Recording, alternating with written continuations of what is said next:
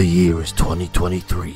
PBS Plus has just launched, bringing the world's streaming services to 4,387. How can anyone be expected to go through all this content? Fear not, loyal passengers. Captain Joe Shoes and his first mate Mez are here to travel through space and time to bring you the best nuggets pop culture has to offer. Strap in. It's time for the Car JoeMeZ podcast.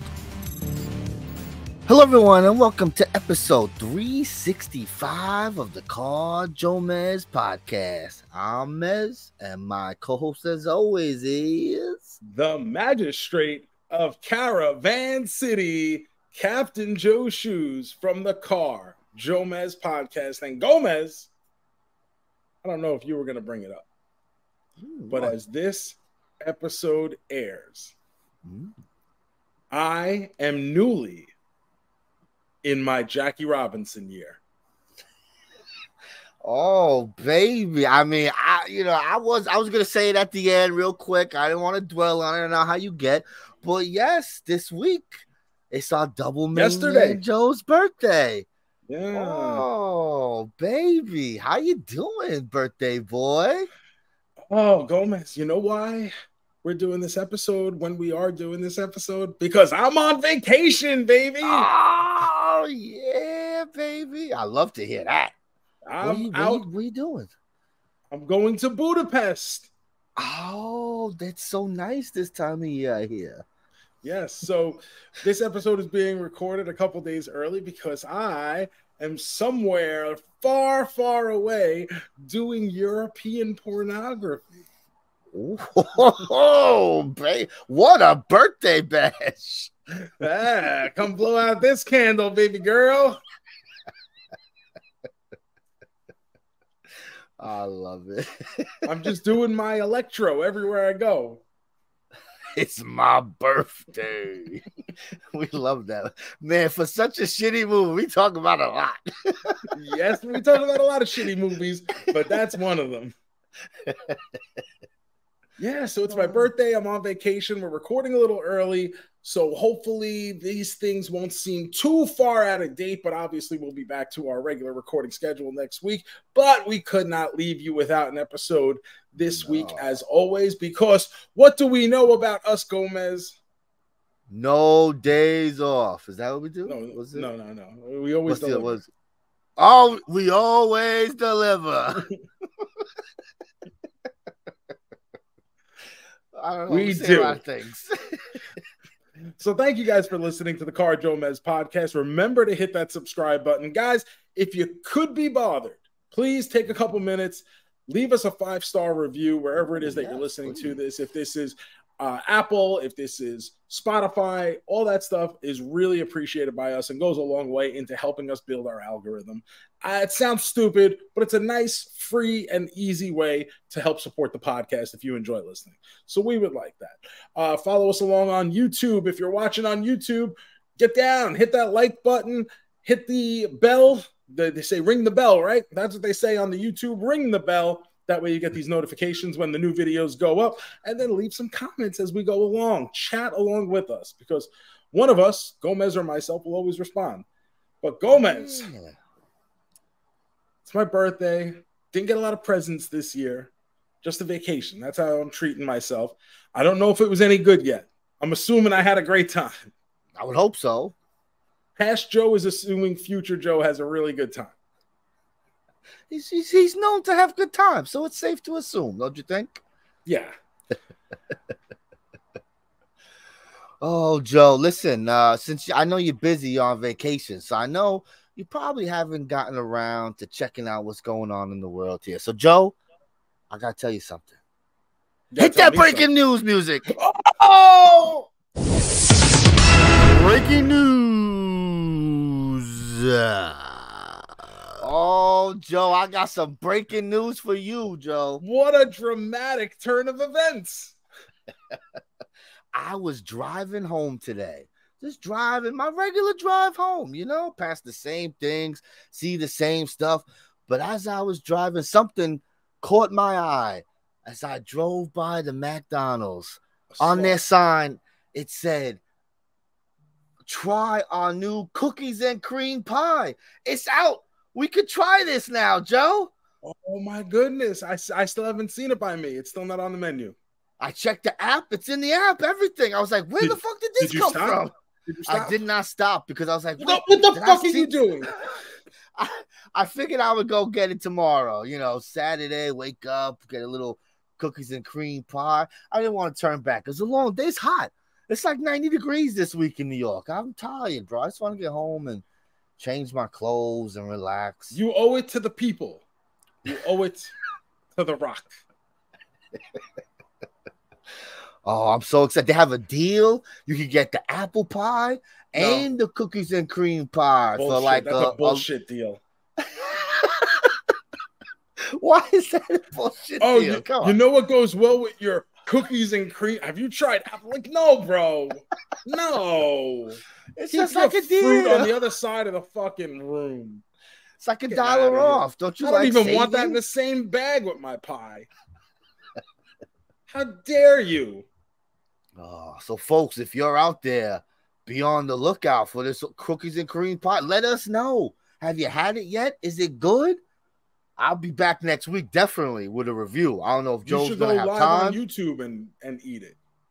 I- don't play with me. I'll put it on, do the whole drive and everything. Order it. We'll do the whole thing. Don't play with me, bro. People love it. live videos. You go live, order it up, try it right there. And all the All council of Jeffs can watch you and weigh in. Well, now do I have to wait for this to come out so they could be ready to watch this? Because now it's gonna be in the past That's a tense. I'm question. gonna do it already. This is this is past Gomez talking to future Gomez. What do you think is right? Bro, this multiverse shit is crazy, bro. I don't know what's happening here. It's just everywhere. but that's how you know we've got our fingers on the pulse because we're also doing the multiverse. We can't we can't let it go by us, bro. Everybody's doing it. Come on. That's what they say. They say Captain Shoes and the multiverse of mediocrity. Oh man, Joe, I could give you another breaking news story. You want another one? I don't have to hit the music again, do I? No, you don't gotta hit the music again. Okay, good. But this too, I figure this is something we should talk about. Joe, the honky tonk man is no longer the greatest intercontinental champion of all time. Hold the wheel right there, Pat Sajak. What what we got time do? for another round. he is still the greatest intercontinental champion of all time. He's just no longer the longest reigning Oh, intercontinental champion I of all time. But he is I still the greatest. My bad, Honky. My apologies to you. I'm sorry. I didn't mean no disrespect. Honky, I just called him that's what we Honky? Like, at Well, least call him. Mr. Tonk. Mr. Tonk. You think he likes that? Honky Sir or Mr. Tonk? Excuse me, Tonk. Can I, I don't know if he likes that. Mr. Tonk Man.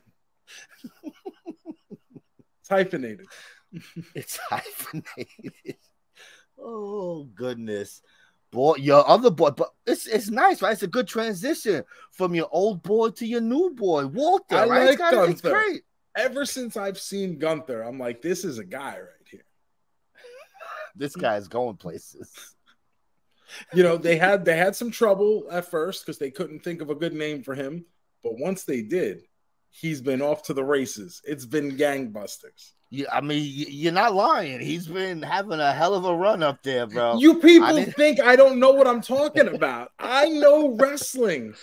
I am the wizard of wrestling, the nobleman of knowledge. I know stuff about things. Always. Think about it. Think about it. I love it. All right, so there you go. I had some news. You got news? That was my news. I figured mix it up a little bit. Throw some I shit your mean- way. I appreciate you doing that. That was a nice change of pace here. And there are but, stuff uh, you like. Yeah, these are I, I like so many things. But Gomez, hit the breaking news music. Ah! Breaking news. Oh man, what's going on in your world, bro? Michael Jonathan Gomez. I could not go one episode with not having you hit my music for me because it's my my phrase, it's my catchphrase, right? Sure. So let's talk about some things. Uh, Netflix this week, yesterday actually, September 13th, the beginning of my Jackie Robinson year, mm. they've come out with a new show on the streaming platform called Wrestlers. Oh, what the fuck is this? This is seven episodes about legendary wrestling alliance, Ohio Valley Wrestling, as run by Al Snow. And this is going to oh. tell us everything we oh. need to know about Ohio Valley Wrestling. Gomez, are you excited for a reality wrestling show with Al Snow? I mean, wait, is is this like a this is a like a show that's happening now? Not like it's an old like let's look back. No, I, this is a docu series about oh, current day OVW. No, no, no, no. Where Al, Al Snow is the actual owner of OVW. Oh, okay. I get. I, I'm. I'll say I'm slightly interested. I was more interested when I thought we were doing like a. Oh, OVW was the shit back in the day. I thought yeah, back, like oh, let let's talk about when John Cena and Batista, yeah, like Randy Orton, like that, yeah, and H two O Ron Waterman were there. That's that's I got excited for that. This one, I guess it's cool. I like Al Snow. He's cool.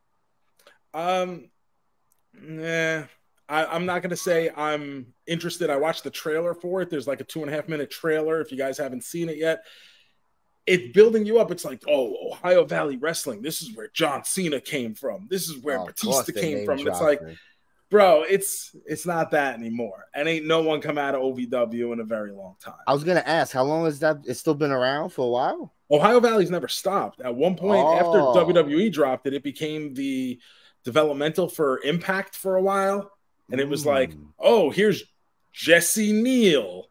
I was gonna say, have they produced anything since then? Like, what's the biggest? I can't think of anyone who's come out of OVW in a very long time. Mm, that's sad. That's not good. Why would you keep going? you know, it's just one of those things. And remember, we just had recently the Apple TV series of um, yes, Monster uh, Factory. Monster Factory. Yeah, it's kind of got boring. Never finished it. Never have felt the interest to go back. So I'm kind of nervous that this is going to be along the same lines. I could see that definitely. I mean, it's interesting. It's it's a cool idea. It's cool to Netflix getting in the wrestling game, and that's yeah. Cool. Also, next week they've got a new season of Love Is Blind coming out. Oh snap! What a birthday present! A great birthday present for me. But in addition to Love Is Blind, when you look at all their coming soon type of things, there's really not a lot that appeals. There's an awful lot of true crime out there. And I understand that there's a market for true crime. I, I believe me, I get it because I watch a decent amount of it myself. It's just the the pickings feel awfully slim right now on Netflix. I feel it all the time. I mean, when's the, I don't even want. I can't say when's the last time they had a hit show. Uh, they don't really hasn't really happened. I feel in a long Fubar? time. Like, but I don't even feel like that was even, a hit. Was that popular? That's what I mean. Like, what's the last time a we Netflix liked it, show? But when when was the last time something really broke? A through? new, like a new thing too. Like, yeah. obviously, Stranger Things is gonna be popular when it comes back, and You is popular when it comes back, shit like that. But when's the last time they had something pop off like that? That everyone was like, "Oh shit, you watching this show?" I feel like it's been a while. I could be it wrong. Really Maybe I'm forgetting something that slipped through our cracks. Or something. But I feel like people ain't talking about Netflix shit. Uh, in addition to that, Gomez, you know what else is back right now? You may be lucky enough to find it on your shelves. Mm, what's that? I know you're a guy in the market for these always. Red Velvet Oreos, Gomez. Ooh, I love when they bring back the good ones. Mm. So, Red Velvet Oreos are a fan favorite, so to speak. Yes, they're good. Yeah, very much so. Those should be back on shelves now. You just got to find them. I gotta say, they brought the s'mores back this summer. I got it one time and then I could never find it again. It was so upsetting because one of my favorites, and I just it was non-existent. I don't know what the fuck's going on. I wonder if it's just like a limited quantity. Like they just like put they out a... they don't yeah, they don't pump it out. They ordered one case of it or whatever. Kind of like those it. Captain Joe Shoes Major Bendies figures, no longer available at MajorPopMerch.com. God damn. Make a certain amount, and once they sell, they sell. I'm gonna be like those major marks then. I'm angry. I yeah. thought I had more chances to get it. uh, this past Tuesday, Gomez, Wendy's has a, put out their pumpkin spice frosty and their frosty cream cold brew. Are you interested in either one? Definitely not the cold brew. I mean, uh, I don't know. I might try the frosty, but you know, pumpkin's not my shit like that. Like I said, we, mentioned yeah. I have a pumpkin beer once or twice. It's not bad, but like to go out of my way to get pumpkin drinks and shit, nah, I'm not. I don't think so. And last but not least, you know what is happening this week, Gomez? It's a very big birthday, a milestone birthday for one of our double main men. Yeah, I know you. Who, who else were we talking about here? Maybe even slightly more important than me. What? It is the 75th birthday of Chester Cheetah. Oh, I heard about this, bro. I heard about this. And you, yes, you can celebrate with a piece of Cheetos milk bar cake made from our friends at Milk Bar. They ship nationwide. Yeah, bro. I went online. I said, bro, I gotta get this this cake. I gotta get it. $62 for this fucking Is cake, bro. Really? And I don't know if that includes shipping. The shipping, so, yeah. So I said, I guess I'm not having that fucking thing. It was very upsetting. I was like, oh man, it sounds a Cheetos cake. Oh, what's this? A couple of our friends went to the city. I guess they did a, a thing and they got to try it. They said it wasn't bad. Yeah. I was like, oh man. I just if you're interested, you could check them out on Instagram at Milk Bar Store, I believe. Milk Bar is great. I love Milk Bar. I've I never had it. anything by them. Their cake is great. Um, their cookies are great now. I don't know about you guys where you guys live, but me in New York, uh, I could get Milk Bar ice cream and like ShopRite and Stop and Shop. Oh wow! I don't know if it. I don't know if it's just a local thing because it's New York. I think so because they do have a New York location. They have New York, yeah, LA. that's their main. Yeah, New York's their main thing. So uh I don't know, but if you could get it, this the, the ice cream is great. They make great flavors. The whole thing is cereal. The whole their whole thing is cereal milk. That's their that's their gimmick. So it's it's good. I'm telling you, trust me, I know a thing or two about cereal. Uh, so that's it for the news, Gomez. One thing I want to talk about very mm. briefly. Two weeks ago, I spoke about the show on HBO Max. It's called Telemarketers. And yes, there did. was a third episode that I was refusing to watch. Uh, our double main man John Delana, who recommended it, was like, "Oh, you got to watch the third episode. It's crazy. Like, just just put yourself through it." And you know what, John? I tried. And after the Aww. first six minutes, of it just being this. I was like, nope, nope, nope, nope, nope, not doing this today. And I shut that shit off and I said, never again. Never again will I be swayed by the words of John Delana. Oh, never oh, again no. will I oh, be oh, no. enticed to watch fucking telemarketers. Not happening. Not doing it. Oh. End of story. I was there was no shot. I was watching. I didn't watch number two. Definitely ain't even try. Get out of here. I've, I've heard, but this is the thing. We're in the minority here. People are loving this show. All I hear is praise. You gotta watch this. This telemarketer is crazy. Who can, it's a bunch of jerk offs. Just I don't what what's the appeal? I don't understand it. I don't get it. I really just don't get it. People being pieces of shit. All right. This guy could he gets high and he makes some sales. Good for him. I do a lot of things high. So what, what where's my medal? you hear that world?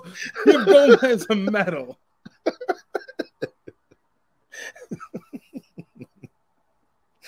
oh man, it's a fun show already, Joe. we just getting started. oh man, I watched uh, I watched a few things this week, Joe. You uh, did you get to watch some them. stuff? Uh, really, just hmm. uh, one or two other things. Mm, all right, I watched uh I watched a stand-up show, a stand-up Netflix comedy special. This is uh, one people have been talking about. Um, I don't know if you remember this. A couple of years ago, SNL made some uh, some announcements of some people they signed or whatever, and one of them was this guy named Shane Gillis. And within an hour or two of the announcement that he was signed, he had been he let fired, go of right? his contract because he got canceled because he has a podcast and he said some things I don't fucking know, and so people went crazy, and so I got to be very not... careful with my Tony Khan comments going forward. Apparently, apparently. Mm. So uh, I guess he's been laying low. I think he still does his podcast, does some comedy, but so he got a Netflix special. I said, let's see what this guy's all about, right? Let's see what's going on here. Uh, I'll say for the first half, it was very hit or miss for me. I was like, eh, you know, I laughed and I didn't laugh, and I didn't laugh. And then about halfway through, he just kind of, I don't know, it gets in a rhythm and just starts talking about topics I care about. I don't know, I can't explain it, but I had some some really good laughs there. He does a, a great, like an amazing Donald Trump, like it's like on point. Like I know a lot of people do a Donald Trump, but like this was one of those you close your eyes and it's him. The, everything is perfect. And uh, he had some jokes, bro. So um, I guess some people might find some offense to some of his stuff, right? Like he's not like like I don't want to say like a Joe Rogan like that, but you know, someone who just says whatever, right? So this guy, he says some things, and you might go, oh, you know, but for the most part, it's not like that. But he does mention, uh, he says the word retarded a few times, right? And then he explains it's because you know, oh, I have a lot of Down syndrome in my family, Down syndrome in my family, you know, and he starts telling Down syndrome jokes, but like, you know, lighthearted, like nice, like not making fun of them, just telling stories. Because if you ever met someone, them. yes, exactly. Because if you ever met someone with Down syndrome, you know, they're usually very nice, sweet, like they're fun people to be around, you know, they're having the best times. So he tells some jokes. One of the jokes he told, I just had to tell you, and it was amazing. He said, Down syndrome people love two things they love titties and they love John Cena. And it was fucking amazing. I was dying, bro. I'm like, do we all have Down syndrome? okay. I mean, you got me pegged. Oh man! I, so I, I may need to consult my medical professional right now. It was fun. It was just good. So like he just he won me over at the end, and uh, I thought it's worth checking out. Nice, easy, fifty minutes in and out. I, I think it's harmless. You know, it, it's good. Check it out. Shane Gillis, Netflix. It'll pop up on your uh, top ten and all that fun shit. Uh, let's stick with wrestling now, since you mentioned John Cena. There is a new documentary over on the Peacock Network called Angle, and it is a nine-hour documentary about the life and times of Olympic gold medalist Kurt Angle, who, by the way, also happened to be in the WWE at one point. And it does take a while to get there, doesn't it? I mean, I don't mind. I thought it was interesting, but it was like he was just an Olympic wrestler for a long time in this doc. And in all honesty, I did find now, in truth, this is about an hour and 40 minutes. Yes, hour 47. But it does feel you get a very in-depth look at his story of falling in love with amateur wrestling, playing other sports as a youth, and his build into becoming an Olympic champion and everything that went into that and his broken neck and the stories behind that. And it's very, very interesting. It's yeah, very good. And the people that they got to be in this story, I thought were all great. All the people really had good things to offer as far as their their tidbits and their stories. And it's just after you hit the Olympic thing, it feels like a race to the finish to cover his professional wrestling days. It's true. And it's it like, oh, well, yeah, here, here, here's his match against Shawn Stasiak. Here's a montage. yeah, here's a montage of matches. It's like it is. It's very weird how they went about that. I will say. Um, I think it's very good. It's very entertaining. It's probably one of the better documentaries WWE has done in some time. You guys already know how I feel about the Cody Rhodes one that came out recently. Uh, so no need to dive into that. But I think it's really good because there's a lot in there that I didn't know before. Um, yeah. Especially because of his Olympic background and his amateur background stuff. And we all know like he won the gold medal, but the severity I don't Yeah. think has ever been really impressed upon us. Like, Hundred percent. like We've heard yeah, the story, it's a broken but like, neck, but yeah, like, do you realize like how bad this was? And it's like knowing full well at any moment he could be fucking paralyzed, and he's just like, I don't give a shit. It's worth it. Like, I gotta try. And it's just like, yikes, my god. that's I- how it is, right? You get one shot. Like No, you, know- I- you might I never get I there get the mindset. I get right? the like mindset it's like completely. it's crazy to But have to I- make that choice. Is crazy. To be put in that mm-hmm. and knowing what you've already given up to get to that point. That's I- why, right? I mean, oof. I'm glad I'm not in the situation where I got to make a decision like because I, I don't think I would have the balls to do what Kurt Angle did for for that one shot. I really don't. No, Maybe I'm crazy. a coward, but at the same time, maybe I'd like to walk too. and he does. He he could barely move. This poor man. Now I will say shape. there's one line in particular in this movie that got me absolutely fucking infuriated. And here comes fucking old man Jim Ross. Oh, And he has like a throwaway line at one point where he says something to the effect of, Oh, and there was that debacle of his TNA run, meaning Kurt Angle's. And it's like, bro, number one, like, can we be fucking done with Jim Ross, please? Like, enough is enough with Jim fucking Ross. I know a lot of people want to go out there and complain about Cornette. I know a lot of people want to go out there and complain about Vince Russo. You know who I want to be done with?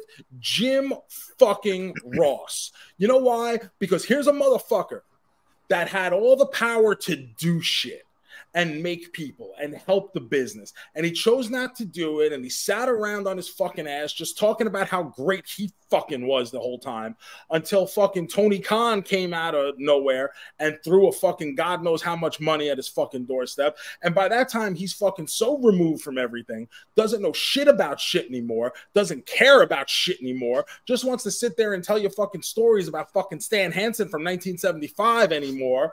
like, it's like, at what point, what is Jim Ross offering the fucking business anymore? I'll tell you what, it's fucking nothing. Like, I get it. I think Anna Jay looks good too, but I don't need this old man just telling me how great her ass is every time she's on fucking TV. At some point, it's fucking creepy. That's the time we live in now. It's this is not fucking Jerry Lawler 30 years ago telling me he likes Trish Stratus. I get it. But times have changed, and maybe we need to be fucking done with Jim Ross too, because attempting to call Kurt Angle's TNA run a debacle, and I understand maybe it didn't do massive box office and it didn't make TNA a fucking legitimate number two competitor, but Kurt Angle was in fucking TNA having fucking bangers, and I'll be of the the greatest I'm- matches. I am one of the last people to ever defend anything Joe about loves fucking. TNA. Joe Like- loves TNA. But like, let's call spade a spade here. Kurt Angle was there doing programs with fucking AJ Styles and Samoa Joe and Christian and getting these guys over and It's making them bigger stars and getting them ready to go work other places. Kurt Angle was having fucking banger matches with these guys.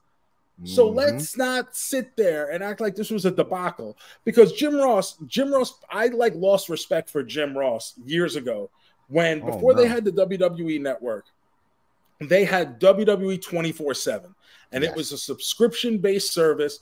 And every month you'd get like, say, six or eight new shows. And one of the Yeah. shows they would put on was called uh, like Legends of Wrestling. And it was a roundtable discussion round table. with Jim Ross and Pat Patterson and Michael Hayes, and then they'd bring in like Roddy Piper one month or Dusty one month. And at one point, they were talking about celebrities in wrestling. And Jim Ross went on a rant about how Cyndi Lauper added nothing to the business. And here I look at it and I go, Uh-oh. You dumb Uh-oh. bastard. Like, how fucking dare you? How fucking dare you? Because Cyndi Lauper was one of the biggest fucking stars in popular culture in the mid 80s, and her being on the war to settle the score, and her taking Hulk Hogan to the fucking Grammy Awards, and her showing up at WrestleMania was a big fucking deal. Her putting Captain Lou Albano in her Girls Just Want to Have Fun music video, her doing the song for the Goonies that featured fucking half the WWF roster. This is fucking inane, inane. And someone should have stood. Pat Patterson knows. Pat Patterson was there. Roddy Piper was on that panel. She made Roddy Piper when he, she allowed him to kick her in the fucking head and get that fucking heat. And not one of them, maybe it was edited out. Really? I was gonna say I can't believe out. Piper didn't say nothing. but they know what Cyndi Lauper meant to that fucking angle, and they know what Cyndi Lauper meant to the creation of WrestleMania, and they should all be smacked in the fucking mouth for acting. You know, like I said, maybe it was edited out, but fuck Jim Ross and fuck Jim Ross forever. Fuck him. We need to be done with this idiot. Go back to fucking Oklahoma, sell your fucking mustard, and go back into seclusion. Write a book every once every couple of years. But fuck off. Like we do not need you around here anymore. I, I won't say it as angry, but yeah, I've, I've had enough of Jim Ross on AEW. He, he adds nothing. He's very slow. He's very mumbled. It's it's not good. It's What is, he, up, like, what is he adding to the product except He that doesn't. you know 25 years ago I was really good. Yes, and, and he was fought like when AEW first started, he wasn't bad, but you know that's four or five years ago. You know he's had some health decline. You know it- it's rough sometimes listening to Jim Ross doing commentary. Look, and, and I'm not wishing ill on Jim Ross. Oh no, no, I'm, I'm really not. There are people that I do wish ill on. Jim Ross is not one of them, but it's just that we don't need him in this spot anymore. There are a lot of other people that can do the job much more competently at this point than Jim Ross. It's not a question of age, it's a question of talent. Jim Ross is not that talent anymore. We can go ahead and remember Jim Ross for what he was. That's fine. The same way we remember ex athletes for what they were. I love Ken Griffey Jr. You know what? I don't think of Ken Griffey Jr. now as a 60 year old man and say, man, I wish he was still playing. No, I'm quite glad I'm watching Julio Rodriguez right now instead of Ken Griffey Jr. in today's world. As cool as that might be just to see one time in a home run derby yeah. or something. sure, yes, something But, like but that. at the sure. same time, like I don't remember Ken Griffey Jr. for the end of his career on the Chicago White Sox when he fell asleep in the clubhouse and couldn't pinch hit. I remember him for when he was the man. And Jim Ross is doing nothing but sullying his own reputation right now. And I understand maybe like I get it. You want to be out of the house, you want to be active, you want to be busy. This isn't the place for you anymore. Go find something else to do. I love it. Like, like let's call spade a spade. That's you know, Uh, Listen, and the thing is, is we get in this. agree with. No, and, and we get in this thing like where we think anyone in wrestling has to wash their mouth. And and they're believe me, with as much as I say, there's still when we go back and I've listened to the episode, I'm like, ah, I don't know if I should say that. You know, I have friends that work for these companies, and I go, ooh, not that they've told me. Not that I've I've never had a conversation with any of my friends where it's like, hey man, like you really shouldn't say this. You really shouldn't say this. But the fact of the matter is, it's still I don't ever want it to get to the point where I say something that When gets out get there in and then my yeah. friends start getting questioned about it. Like, hey, don't you Yeah. know that guy? Like, Yeah, that's not not, what I'm friend, yeah. trying to do. But at the same time, like, let's take a realistic look at the business here. And what it like if if you took Jim Ross off TV today, does anyone even fucking notice? No, No, of course not. No, no. they already have five guys in the booths. Like we don't need, you don't need another one. Oh man, Jim, who knew Jim? Who knew Jim Ross was gonna catch it today, folks? Fuck. enough is enough. Oh, so that angle doc, huh? Hey, I, It's good. long. Um, I I wish we could have almost split it into parts. I would have like liked to. did- Yes, If If we would have done it like, like the Arnold documentary that Netflix did, where it was three parts, like, oh, here's Arnold the athlete, here's Arnold the actor, here's Arnold the politician. Maybe we could do angle the uh, the amateur, angle the WWE guy, and then maybe have that second part be like kind of a longer version of his initial WWE run. And then I know we can't do the TNA stuff, but maybe do, could do his his you rehab stuff. His rehab, uh, him going to Japan, back. him doing the indies for a while. Yeah, Remember, he was taking indie back bookings, and then you know everything coming back. Maybe we could have done it like that. Maybe made the Yeah. episodes an hour each. You know, sure, and just yes, I I think it might have played a little bit better there. But like I said, the initial part with the amateur stuff is very interesting. but it does feel like once you get to the WWE stuff, it is almost like a, a race and trying to finish it up as quickly as we possibly can. It is just bang bang. It's broken neck, broken neck, broken neck. I'm on drugs, rehab, and the doc. Uh, I and will here's, say- here's Stone Cold putting a tiny cowboy hat. I will love the doc ends on a TNA clip.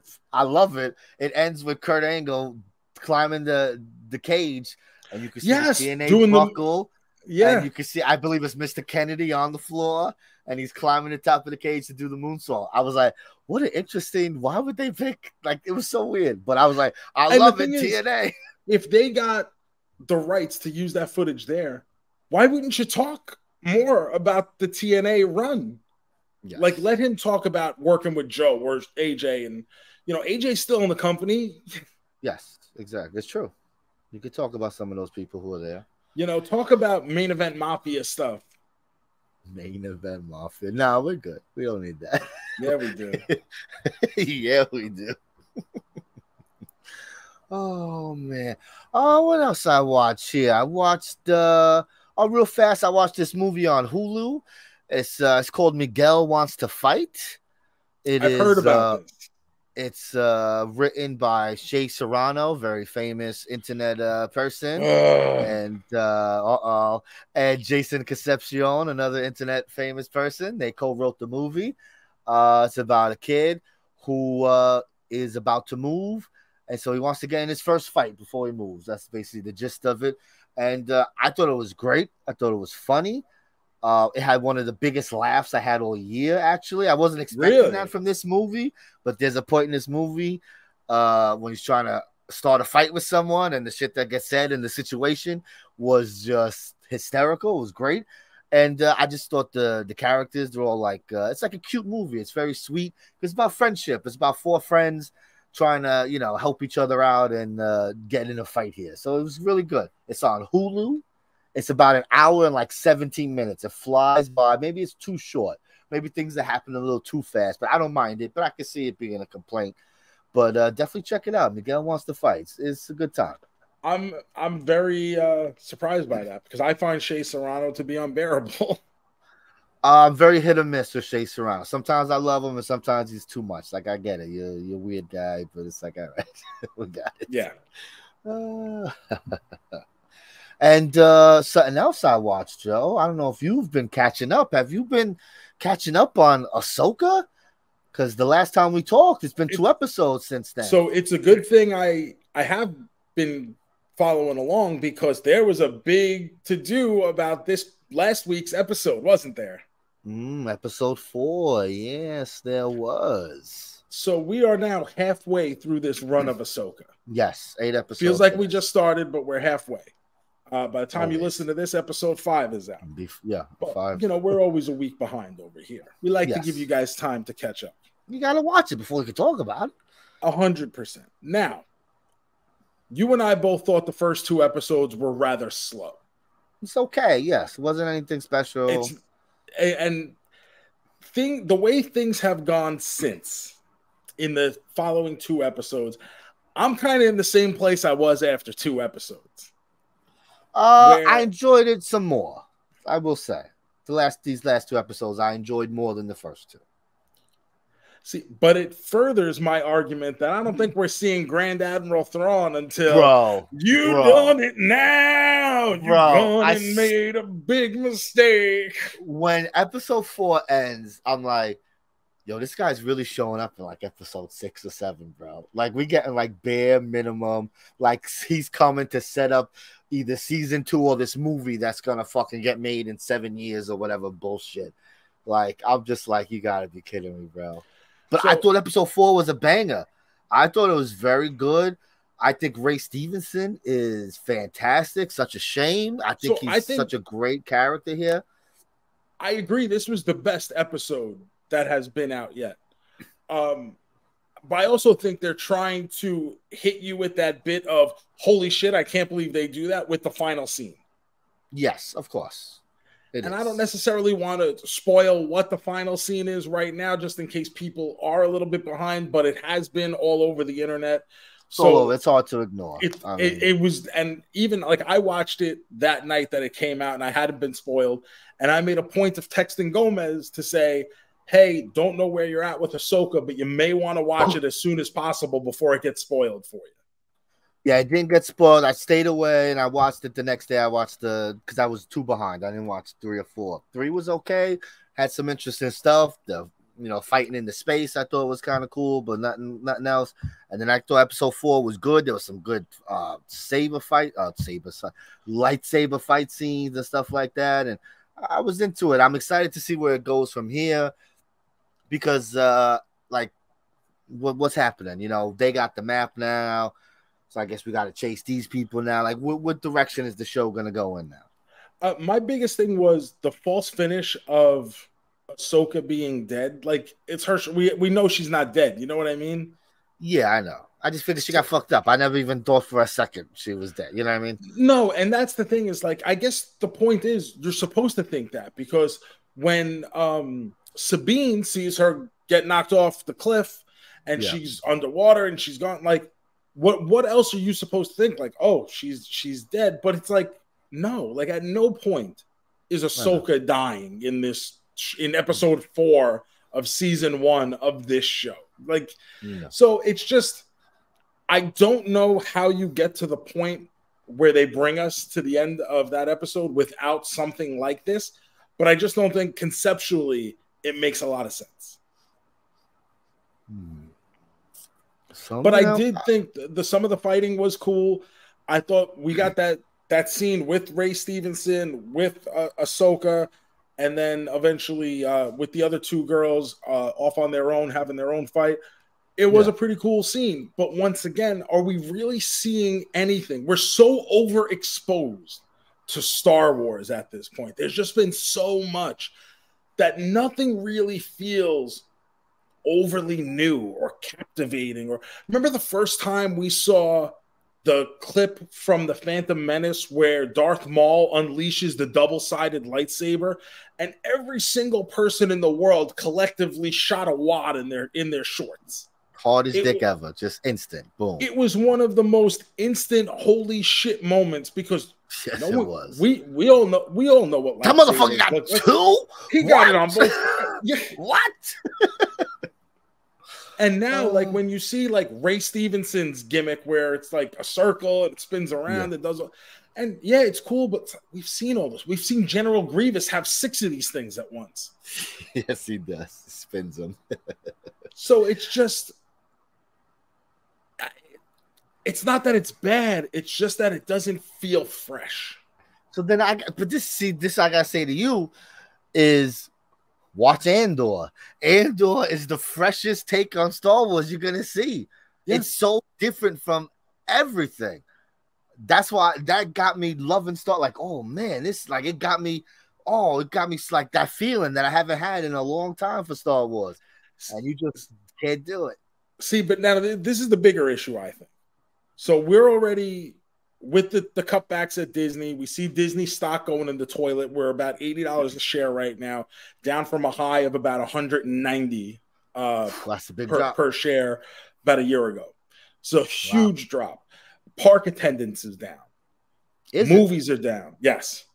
Mm. Um, everything in Disney is down. And one of the biggest devourers of the Disney dollar right now is the Disney Plus uh, streaming platform.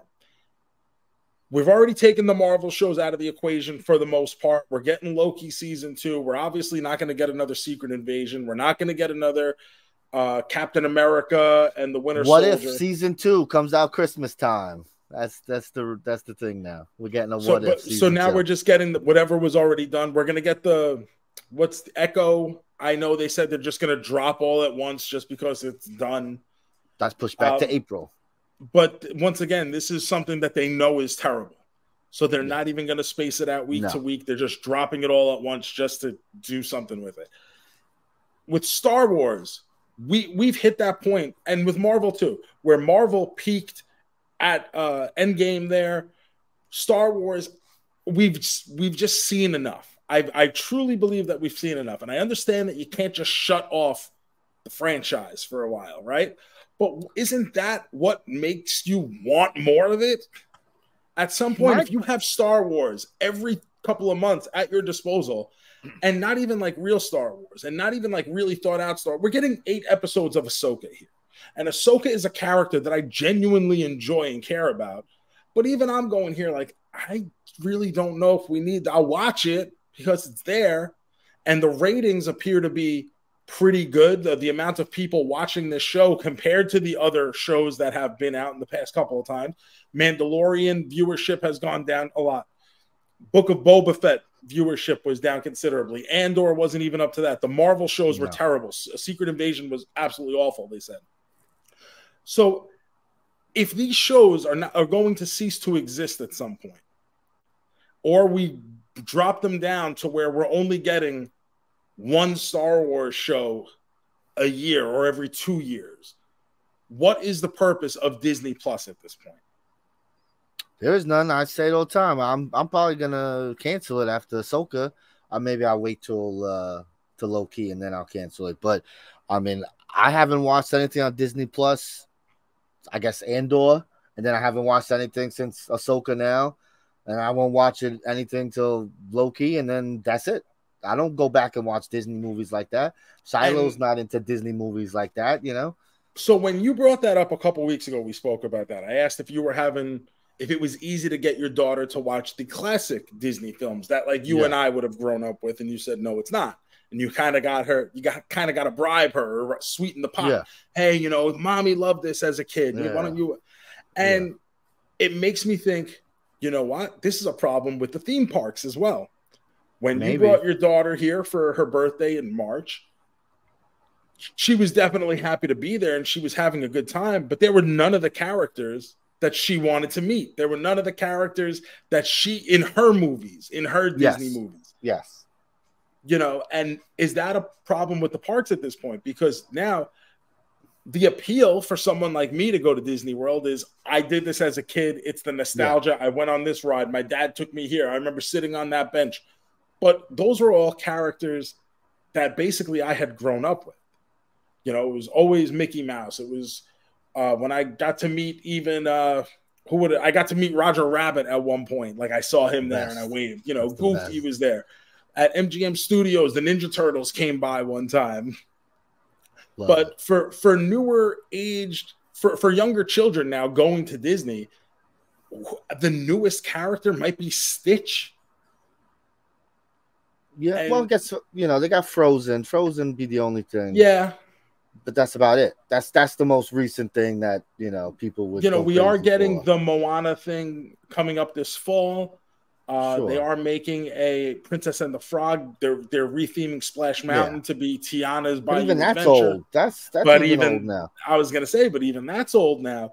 And I understand that these things take time sure. to build or imagine or sketch and everything. Yeah. There's a lot of time that goes into that. So by the time you actually do get something up and running, it is kind of outdated already. Yes. But how do we put that in there where like Frozen needed to become such a monster of a property yes. that it didn't matter when you got it out as long as you got it yes. out. Yes. Yes. Frozen is everlasting now. Yes it's reached that point. But yeah, that's the thing is things get popular, but they don't always hit that that thing. You know, Encanto hit a thing, but it doesn't mean Encanto in five years yeah. is still a thing, you know. But then you build an Encanto thing, and you know. And it's the same thing even with Avatar. The first movie comes out as a massive hit. They decide they're going to build an Avatar world yeah. at Animal Kingdom. It comes out 10 years, years after the fact, and then a part two comes out years even after yeah. that. So I, I go to the Avatar place now, and I'm like, do people even really care about this? I can't believe like when I've heard of it, I was like, oh, there's an Avatar. Like I like what? Like I forget because you know you don't think of that as being a Disney thing like that, you know. So but, yeah, we got Disney Plus. Really, nothing going on. Netflix no. is a land of true crime at this point. Hulu's where you go for the network shows. If there's nothing going on there now, and there's nothing going on there at at this point. Take out take the writers and actors strikes out of the equation here. Are we about to revert back to the cable system? Oh, it's definitely coming that way, especially because of this strike. Because of that, you know, uh, they got to make changes. Uh, uh, Warner Brothers just said uh, they said they're losing about 300 million because of this strike this year. Mm-hmm. And all the writers are asking for is 40 million dollars from them. So they're willing to lose a lot, a lot, lot more. A multiple. to prove, just, just, you know, yeah, five times. But like, who knows what that end number is going to be by the time the strike does end, right? And it's just, it's just amazing to see that, that just the greed is just, it's going to come crashing down, and it already has. You know, the Disney CEO, you know, he's back here, and he's what's he saying? He goes, we're gonna pump the brakes on on TV shows, but it's the truth. Why are we spending 250 million on Secret Invasion? How much money is that bringing in? You know, it just doesn't things don't add up. You you, set, you put it to the movie theaters because you hope you can make that money back. But everybody's got fucking Disney, bro. How many new? That's the thing too. They always want new subscribers every every quarter. How many people are supposed to subscribe to your business every year throughout the year? We need growth, growth, growth. No, you don't. Like that's insane. That's not like what what what do you think this is? There there is a finite amount of people out there who are going to subscribe to Disney. Yes, and they're And- usually going to do it when it first comes out. Whoever Yes. really wanted it is doing Whoever it really at the wanted it did it day one. They Yeah. saw all the movies that they haven't seen in God knows how long. Oh, we watched The Sword in the Stone. We Yeah. watched Robin Hood. Oh, we watched Mary Poppins. And then you gave us some cool little shows like Prop Culture, Yes. which was a nice look at the behind the scenes stuff of certain movies. You gave us stuff about the Imagineers. That's the kind of stuff That's I, stuff I can get behind. be there. Low cost, interesting things that wouldn't be like you know you're not really going to seek that stuff out. But if it's there, oh look at this, this is interesting. Now, I understand you're going to have to have new programming to keep people invested. Yes. But you guys are blowing years worth of budgets on even the most inane shows that yeah, even if you wanted to, you can't make that back on anything. You know, Indiana Yes. Jones budget was so high, like you could leave that in theaters for the next 25 years. It's not going to make back the budget. Yeah. Secret Invasion in the movie theaters was not making two hundred fifty million dollars. No. No shot in hell. Now, Insane. turn Secret Invasion into a much tighter cut two hour movie. Maybe you got something worth a shit, but the way you did it was fucking awful. You had a terrible story, you had terrible actors, you had terrible premise, you had stuff people weren't interested in to begin with. yes, it was a story no one wanted to be told. It didn't. It didn't matter. And and this is where we're at with the Marvel end of of Disney right now anyway. We're getting you gave us when the MCU started, you gave us superheroes that you owned because no one else wanted them. But you hooked us because you gave us engaging people doing what they did well, writing stories that really hadn't been told before in such a manner. Everybody got hooked in and made it appointment viewing. It was appointment viewing when it came out in the theaters. It was appointment viewing when it first got added to Netflix. People would go crazy. Oh, Winter Soldier just got added to Netflix. Gotta watch it. Oh, Civil War is on Netflix. Gotta watch it. Oh, I put it on before I went to bed. Watch it again. Like, oh, I love that airport scene. Whatever the case may be, when these things would end up on a Netflix, it felt like appointment viewing. After because it was like you already seen it, you loved it, but now it went on the one streaming service everybody had. Now these people have bastardized the streaming services. They've watered it down to where you feel like you don't have anything on any of them. Yeah, and it's one thing when uh, you know something like Peacock, it's four ninety nine. I got my my karate Hong Kong channel, it's three ninety nine. If I don't watch it, I don't feel like oh, you know, whatever. But when something's twenty dollars, you know, it's, it's a bit more twenty dollars, twenty dollars, twenty dollars. All of a sudden, sixty dollars on these streaming services that I'm not watching. That's a lot of money a month. Yeah, if you're if you're spending twenty dollars on ad free Netflix right now, I, I would hope there's more coming out than really just fucking wrestlers and true crime.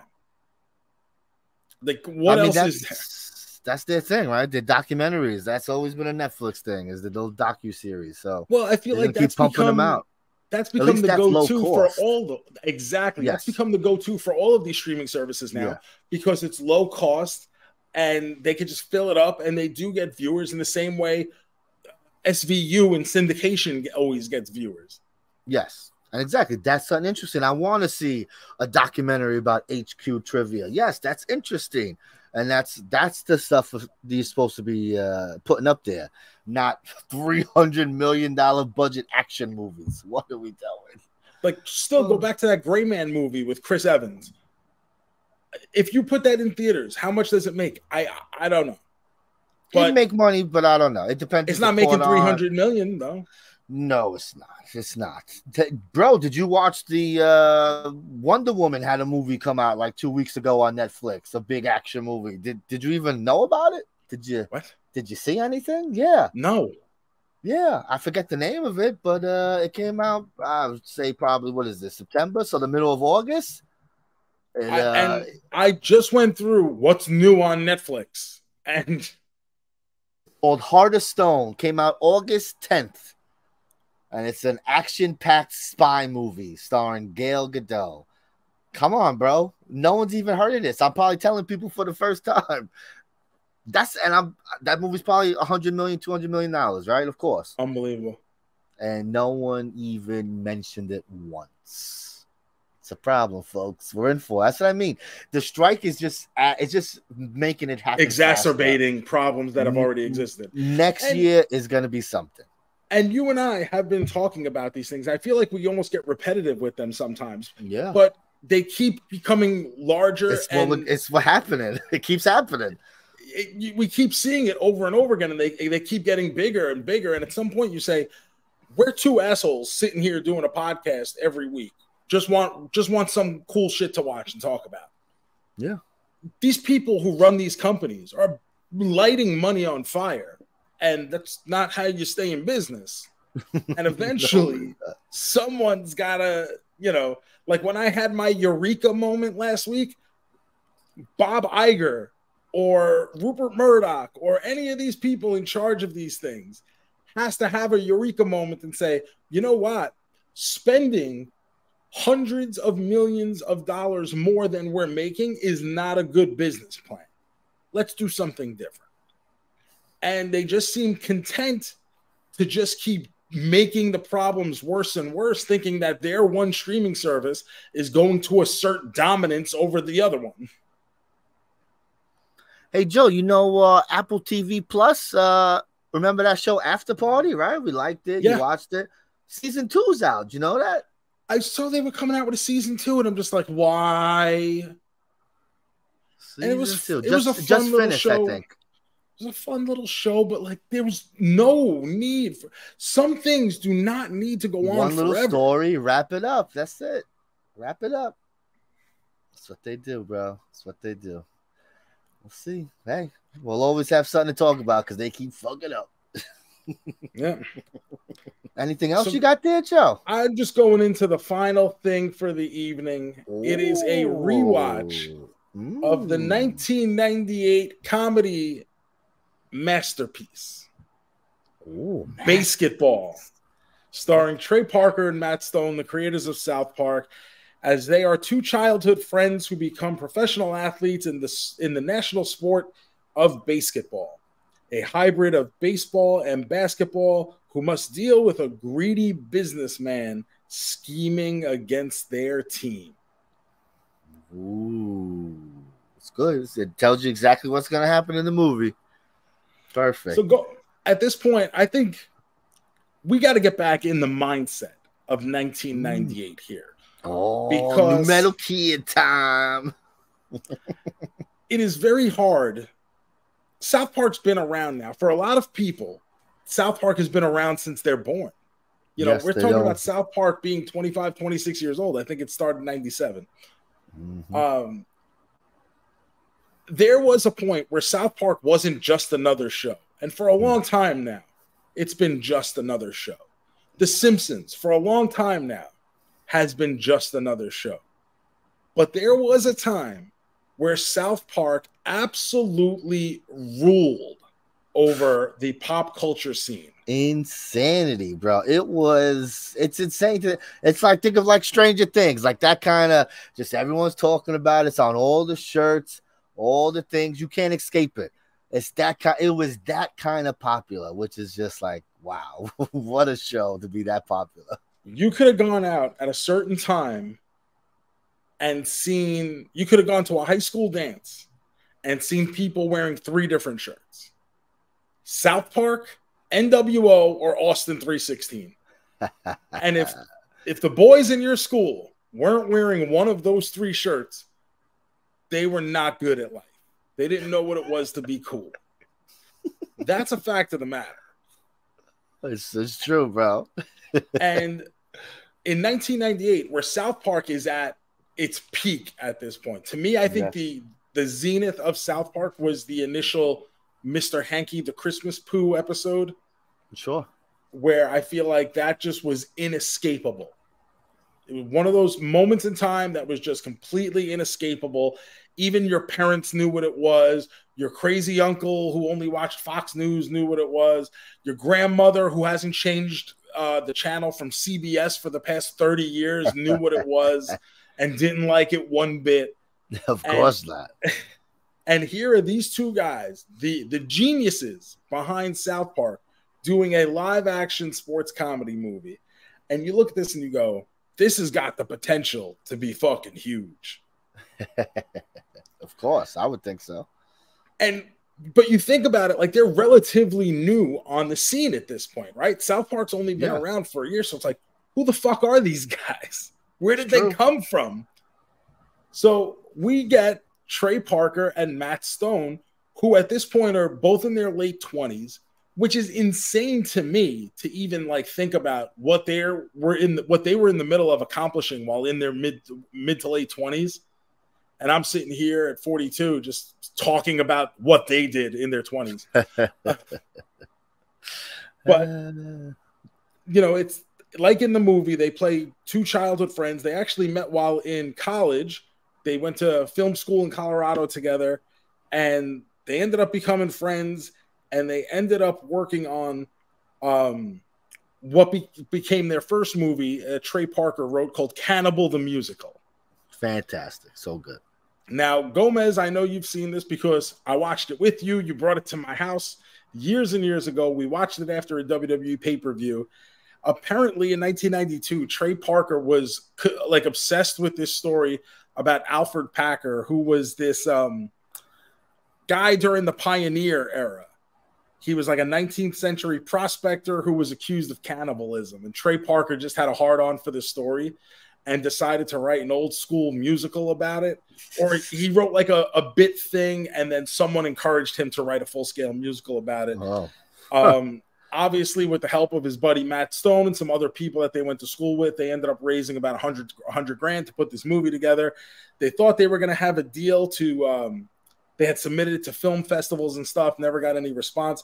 But eventually they do end up selling the rights to Troma.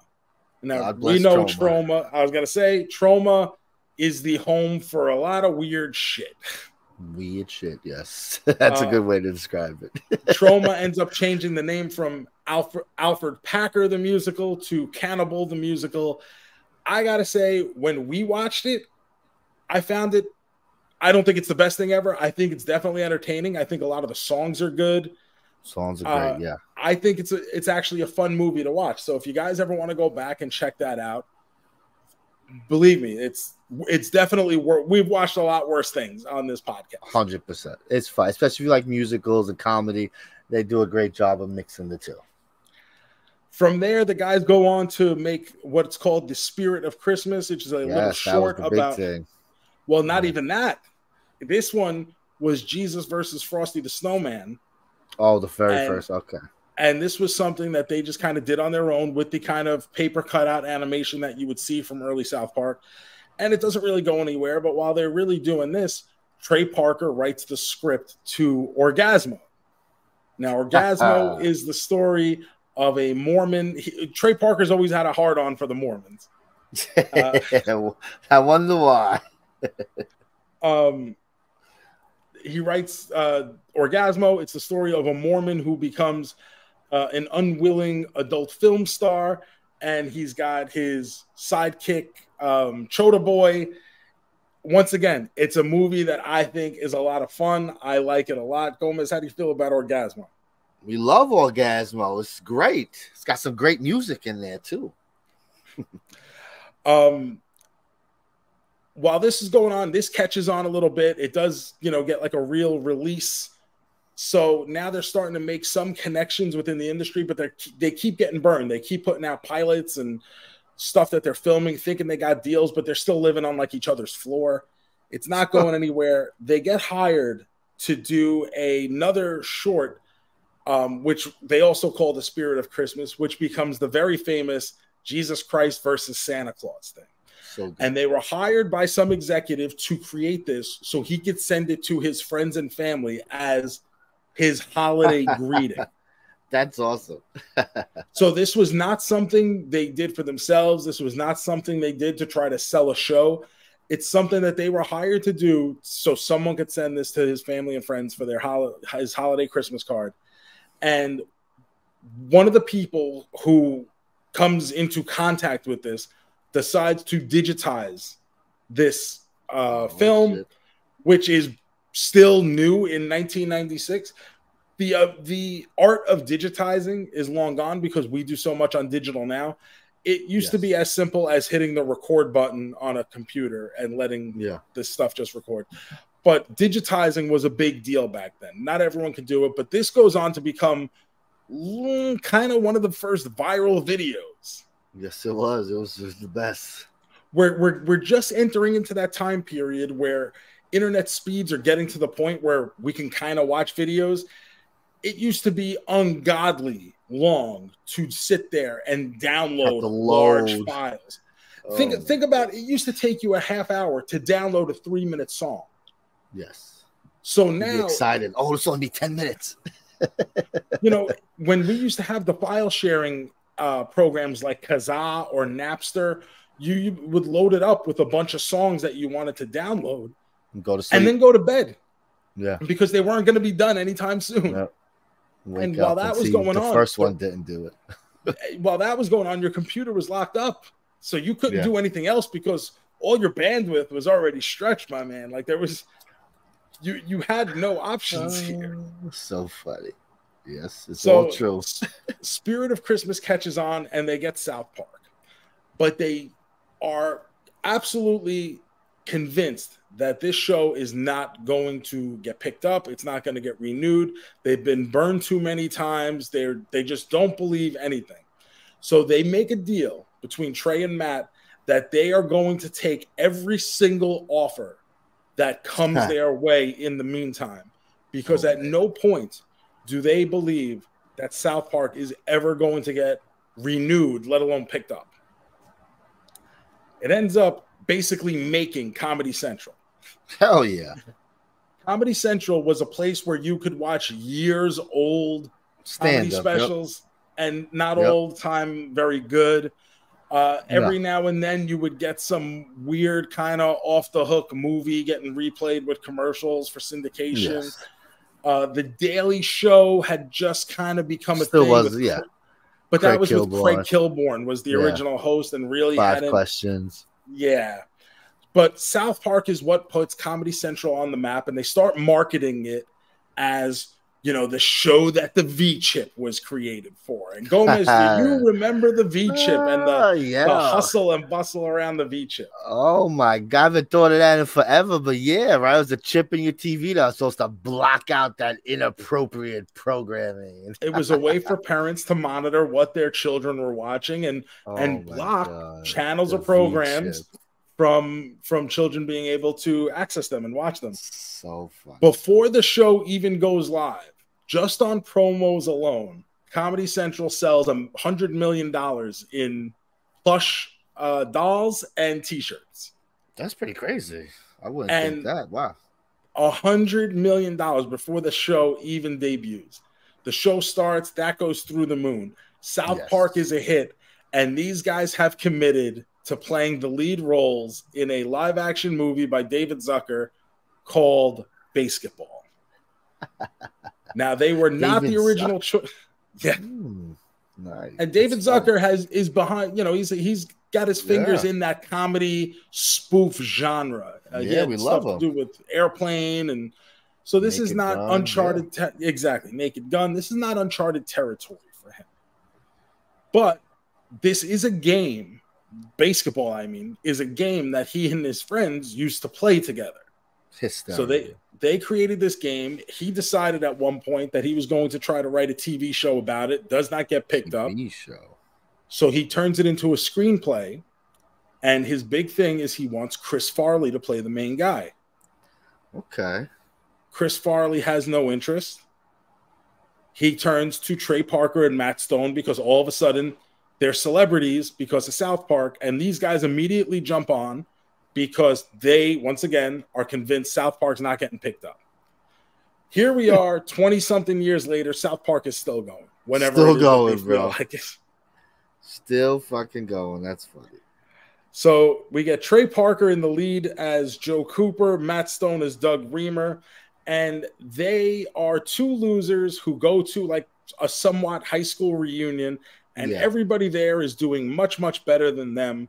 And they come up with this idea that, well, in order to get chicks, you need jobs. And then once you have jobs, you can get khakis. And then once you have khakis, then you can get the chicks. So it sounds like a good plan, but they're just really lazy, and they come up with this game of BASEketball as a way to uh, beat two of the uh, jock guys Jocks, at their re- yeah. yeah. The cool polo shirt guys at their high school reunion.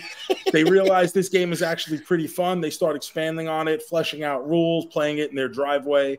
Other people from the neighborhood, it appears, start jumping in, forming teams, and they have like full scale competition until we get billionaire Ted Denslow, played by Ernest Borgnine, who is wonderful in this, by the way, uh, sees it, shows up, and says, Hey, I want to make BASEketball a real thing, but I want it to be like the old days of sports where teams couldn't move and players couldn't get traded and money didn't run everything and people were treated like and thinks he thinks. And Trey Parker says, Indentured servants? And he goes, Yes, exactly.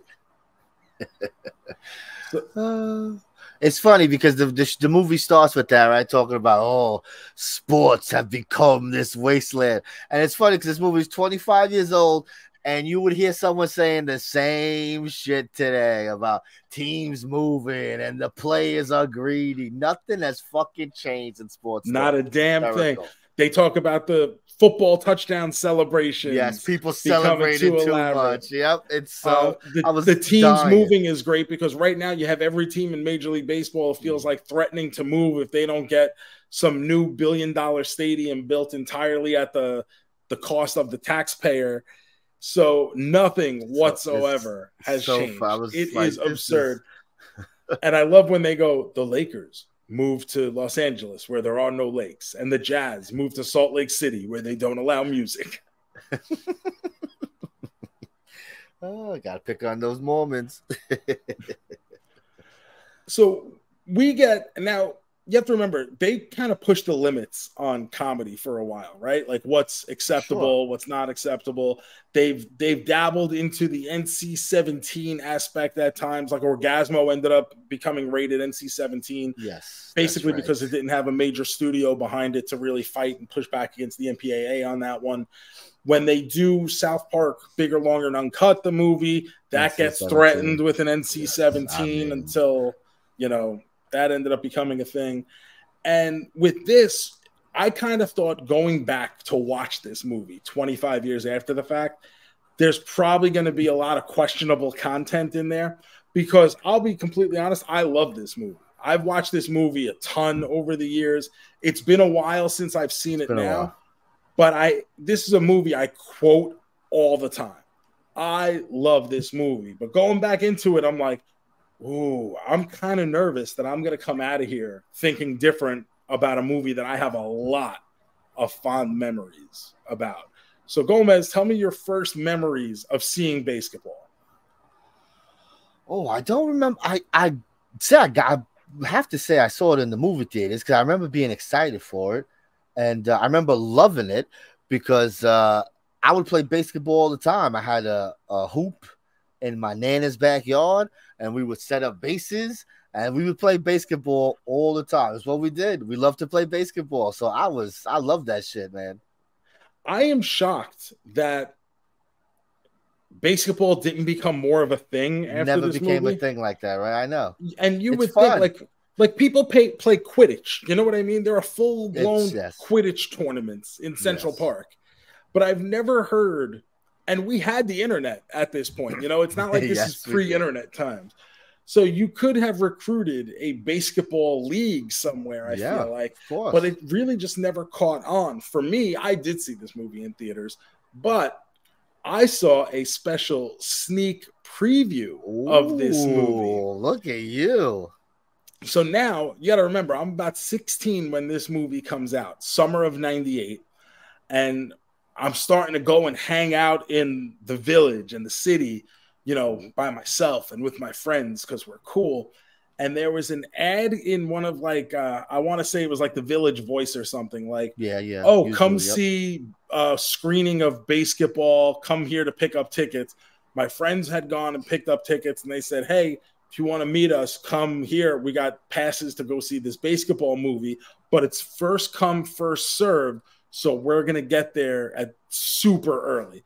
So Yep. say the movie was at seven o'clock. We had a friend that was demanding that we get online at noon because you've never been to one of these things before.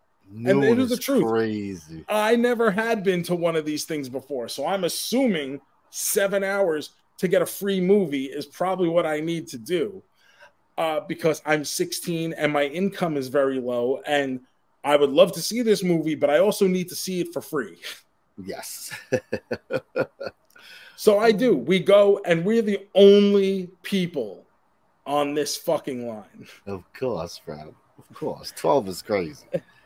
We are the only people on this line. But eventually they let us into this theater. I couldn't even tell you where the theater was at this point. It's I, I just remember standing on the side of the street in the middle of Manhattan for uh, hours. And because the screening, they start giving us like little gifts. So we get like an inflatable basketball they gave to everyone as they walk in Oh, that's awesome. they gave us uh, like a mini poster, a movie poster. They're doing some giveaways, like, oh, cool, whatever. So I get to see the movie BASEketball in theaters, and I am excited because this is genuinely a movie I want to see. This is my type of movie. I grew up on these weird comedies. I love the Naked Gun movies. Oh, yeah. Airplane, I like to a lesser extent, but like Naked Gun is my wheelhouse. Wayne's World, my wheelhouse. Fletch, the John Candy movie. Like this is this movie is gonna be for me, and I know it is. It's a sports movie, it's a comedy, it's goofy, it's got these guys that I think are fucking geniuses at this point. So I am hyped to go see BASEketball. I love it. I love it. Lining up at 12 o'clock. That's just so crazy. I thought you were going to say like three, four. I figured three, four hours is good. Hours, bro. When did someone else? When did someone else come behind you guys? When did someone else show up? How many hours were you there before someone else was like, "Is We were this the probably- for BASEketball?" We were probably there like a couple hours by ourselves, So crazy. and there was like But I mean- six of us, I've six I or have eight been of us. To things where I have lined up at six in the morning for free tickets to shit. So I, I get it, but I just it, I don't know. Maybe a movie, especially Like- a movie like that. And, but the thing is, so at that age, I'm just thinking, like a free. Everyone wants to see this. Everybody wants to go. So I'm just like, oh my god, yeah, that makes all the sense in the world. Like now, I would look at that and go, you know what, dude, I'll just I'll just wait and pay the twenty bucks. Yeah, that's all I'm right. I'll no- see you no next thanks. week. It's okay. yeah, it's fine. So so maybe I wouldn't get my inflatable basketball, but it's okay. I'll still see the movie. Um, as we get into this movie, we get all the different team names: the Milwaukee Beers, the Dallas Felons. They've all got their their themes, and probably the most offensive is the San Francisco Ferries. And they're a Ah, bunch yeah. of gay guys, and I don't know. I didn't think it was offensive, offensive, but this once again, this is me. I can't tell other people how to feel, but there's one of the psych outs that Coop does to make the other guy miss is he goes, uh, how to speak San Franciscan, and he bends Squeak over and pulls his butt apart, and he goes vagina. and I fucking laughed, and I laughed. Oh, it's a good joke. And if you don't get that joke, and I don't expect you to get that joke, I, in some ways I do, but the accent, he does an Australian Yes. accent because these Foster's beer commercials Foster beer were commercial. all over TV at the time. everywhere. You couldn't get away from it. And they all start, how to speak Australian. How to speak Australian. Oi! Wake up call. Beer. Foster's. Australian for beer. And they put like the Fosters on there, like beer. Like this was supposed to be real Australian beer, Yeah. which I don't know why that's supposed to be a good thing. Like, do I really need, like, I'm from Queens, bro. What the fuck do I need Australian beer for? It's exotic, bro. This is Australian beer. You ever try that shit? I never had that. Foster's. I've never had a Foster's. Foster's. Oh my goodness. Uh, this movie bombs at the box office. I think can there were it. high hopes for it because Yeah. of the new The name celebrity of Parker and Stone. Budget is like $25 million. South Park, not that. It only makes seven million dollars at the box office. But that's what I would think. Like a movie like that, if it made ten million dollars opening weekend, like I, I think that's no, I didn't say opening weekend. It made three million dollars oh. opening weekend. But I get, I get it, because you you're excited for South Park, not these fucking guys. Who the fuck are these guys? Like, I get it, they're popular, but are you doing the Cartman voice? Where's Kenny?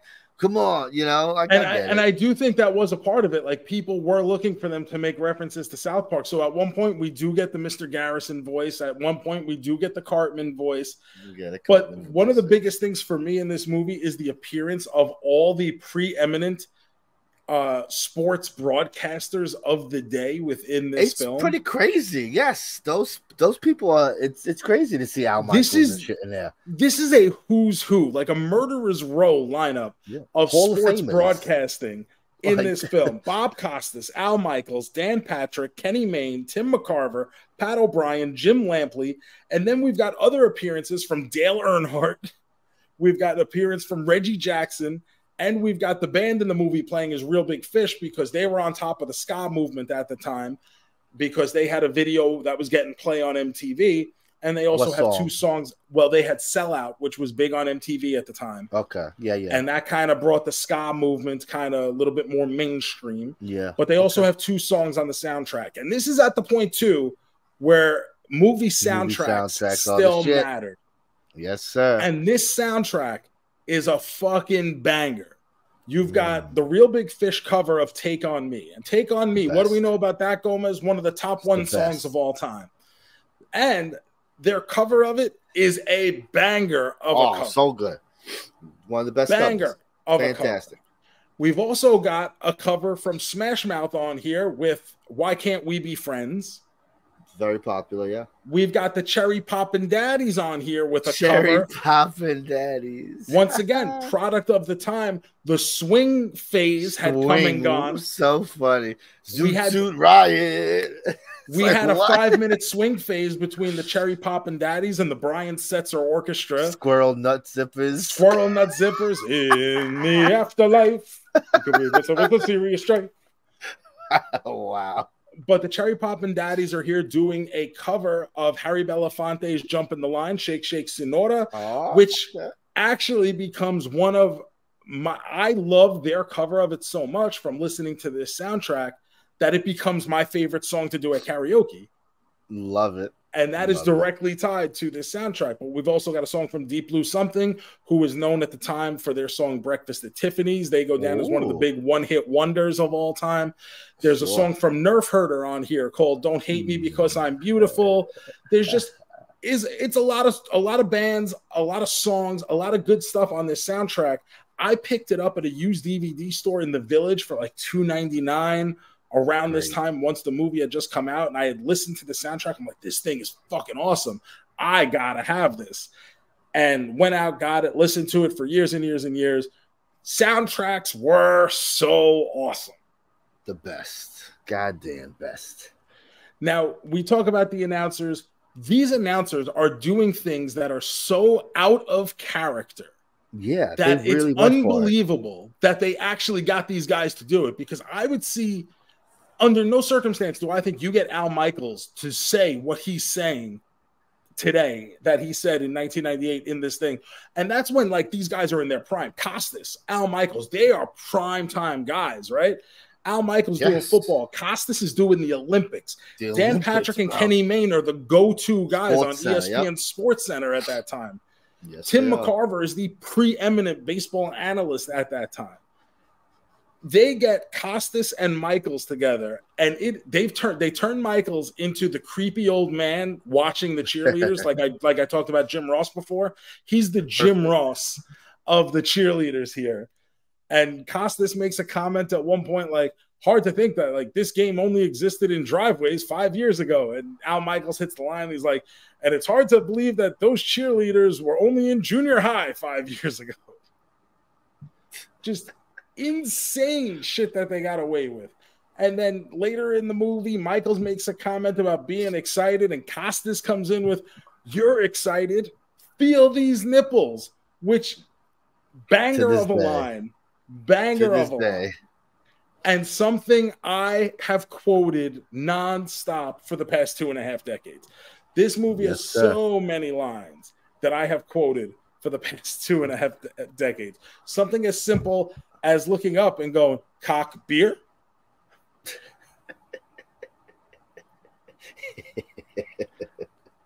I love it. I love my my favorite thing. My favorite cameo in this movie is the unsolved mysteries Robert Stack bit. I think is just a fantastic. It just you think it's this quick little thing, and then it just keeps going, and it's like a whole segment of the show. It's the fucking best. Hanging by his fucking neck in the closet. I fucking die. Oh, it's so fucking good. And at the end, like when they finally like wrap up the Robert Stack bit, he's like, I wish he was my boyfriend. Canoodling, cuddling, kissing him softly as I caress his body against, and then someone throws like a glass of water. It's like I just I love that all these serious people were just the most unserious they've ever been for this movie. I don't know what it was about this movie that they were like, "Yeah, all right, I'll be a silly bitch. Let's go. Let's be crazy. Let's go It's- have it it." just seems it's so far out of character that I guess they, they all just agreed to like, yeah, let's just have fun, fuck it, and get paid. Um, maybe like they weren't getting movie roles like this before. Maybe they wanted SAG. I like I honestly don't know what the reasoning behind because I would think to get these guys to do some of the shit that they did and said in these movies would have been impossible. Like I would have never even attempted to book Al Michaels to be the creep fawning over the cheerleaders. You know what I mean? No, Like sure. I would have never even asked Bob Costas to say, "Feel these nipples." true. You know, there's there's so many things in this. Even stuff like they have the third right is Dian Bachar in the role of Squeak Scolari, and that Yeah. was a, a role that Trey and Matt actually asked David Zucker to build build into the script because originally it was meant for a, a two person team. They asked him to make it a three person team so they could get uh, their boy a role here. He's such a great foil in He's- like he's for great. them in this. Always. And even there's one part at the beginning of the movie where he moves into the house after they get him fired from his job at the gas company, and he's like, "Oh, you you you say you talk to me like that 13 or 14 more times, and I promise I'm out of here." so good. all the time i use that last year um or the uh, i don't know how long it was it feels like last year when gcw ran the hammerstein ballroom and cardona had the match cardona and myers but then chelsea was there and Swoggle was there and Kinnick was up in the balcony it felt like Yeah, the everyone was there except me Yeah. Yes. and i posted the clip online where it's like um but at least i'm on the team yeah i'm on the team and then the dog jumps in and like tackles oh man, I love it. Who knew this this movie's real important to Joe? I love it. It's I genuinely love this movie, and when I suggested watching it last week, I didn't think until it came time for me to watch it again that I was going to be nervous because there's a possibility this may not have aged well, you Yeah. know, and that I was going to, you know, be a little uneasy with going back and watching stuff. Obviously, you have to put it in context for its time, right? And oh. that's what we're trying to do here by kind of building out what we, you know, what it was in the moment. But, but there's a, a lot of things that we grew up with that, quite frankly, haven't aged well, whether it's for quality purposes. Like, as much as I'd say this all the time, I loved He Man as a kid. I go back to watch original Filmation He Man now. I can still get enjoyment out of it because I know what it meant to me in 1983, but I also know this is not very good. And hmm. with this, it's the double whammy of there's a real chance that this is not very good, and there's another chance that this is going to be highly offensive. And I still enjoyed it. And it was really not as offensive as I thought it, it might be because I No. worry about like what these guys could have said. And it really wasn't that. So I came out of there almost loving it more for having watched it again because I was like, it was such a relief that I'm still allowed to like this movie. Oh, that's great. I love it. you know, everything from them being in the locker room with their giant dicks swinging around, knocking everything- everything over. from from Coop and and Remer breaking up to where Remer reaches down, opens the drawer, Squeak is asleep in the in the drawer, and he goes, "Wake up, bitch! You're my new best friend." And Squeak goes, "Really? Can we go to the zoo?" So good. It is good. Oh man. Let's find You- out how good, Joe. Let me hit some let's. music. I think we should hit some music.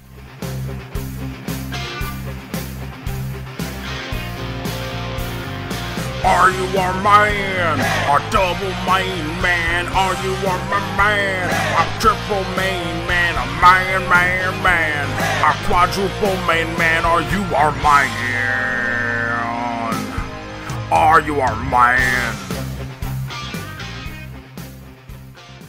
BASEketball. Ooh, baby. It was 1996, Joe. 1998, 25 years. 1998. 25 years. Oh man. What a throwback. it's I'm so glad we watched this movie. I hope you guys enjoyed us talking about it. I hope you guys enjoyed rewatching it on twitch.tv slash Mez Movie. Thank you, yes. Gomez, for putting it up. I've probably I think I've watched it like three times at this point now. Love it. Love it. Um, Love to hear it. I, I love that it's accessible. You, you made it accessible for me, so like I've continually just like left it on and watched.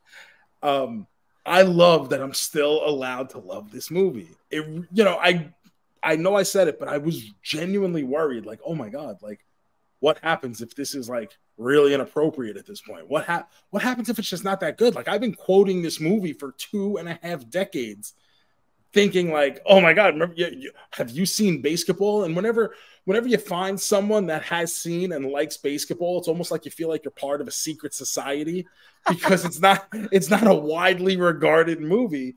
Obviously, only made seven million dollars at the box office. So I think it did significantly better on home video because I feel like enough people have seen it where they get the references when I bring it up.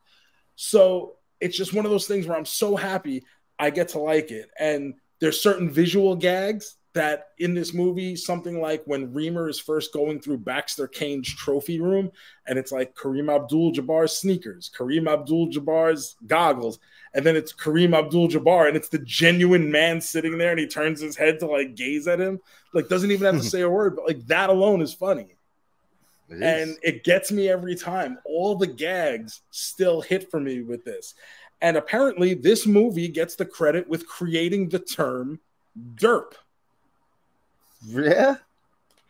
It's used in this movie by uh, by Remer uh, after the scene where uh, they go through Brittany Kaiser's mom's uh, panty drawer, thinking it was Sure. Brittany's, and he's licking the vibrator, thinking it was Brittany's, and Yeah. So it's said then, and then these guys take it into the next season of South Park where they use it a couple times, and then it becomes like an actual term on its own. So, but this is where it is accredited to is for its initial use in BASEketball. We get all the sports announcers kill it in almost every scene. We've talked about Al Michaels and Bob Costas. Tim McCarver there doing the interview from the losers Yes. locker room where all the guys Yes. in the locker room are wearing the gear that says like losers with the uh, tag still on it, like they were handed hats as they walked in. Stupendous. And I met Tim McCar- Tim McCarver was the Mets uh, color commentator as when Gomez and I were growing up on Yeah. WWOR TV. And one of the the first ever game I got to go to without parental supervision, just me and my friends. We went super early to Shea Stadium to try to get autographs. And we see Tim McCarver walking into the building, and I've got a pen and a baseball, and I'm like, oh man, this is Tim fucking McCarver. Here we go. And I say, Excuse me, Mr. McCarver, can I have your autograph? And he looks at me. He's got a briefcase in one hand and another small bag in the other hand. And he looks at me dead in the eye and he says, Bag, son. I've got bags. And he turns and he just keeps walking. Uh, So Tim McCarver, I really wanted to tell that story. When I saw Tim McCarver. I was reminded of it, and I even wrote on my notes, "Tim McCarver, tell the story." Um, love it. But- great story. I Tim McCarver passed away recently. He was in his 80s, lived a hell of a life. I always remember that. Like that is one of those indelible moments in my life. Uh, bags, son. I've got bags. Um, there's just so the Reggie Jackson appearance in this, where Coop goes from catching Reggie's third home run at the game in 77 World Series to then Reggie walking on the field after Coop wins the Denslow Cup. And he's like, Man, I got the first two balls from the first two home runs. Some snot nosed kid ran away with it. But Coop, you go and enjoy your moment, your moment. As Coop turns to walk away, he goes, Hey Coop. And Coop just turns around and goes, I don't have your fucking ball, man.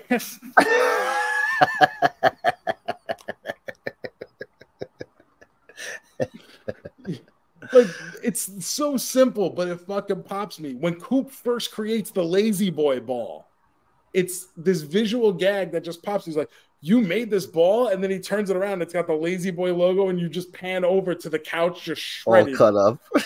yes. Brilliant.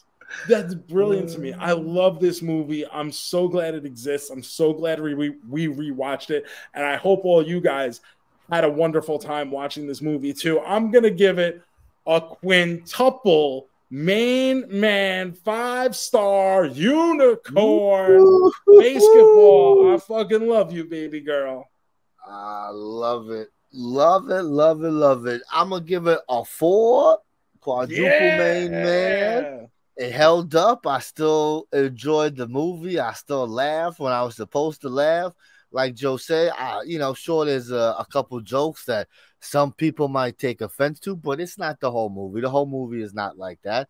So there's nothing to worry about. I don't about. even I think, they're really all that bad, considering No, what I I thought know. that could have been in there. Sure, but some people just don't want to hear certain things, period. So, you know, Yeah. whatever.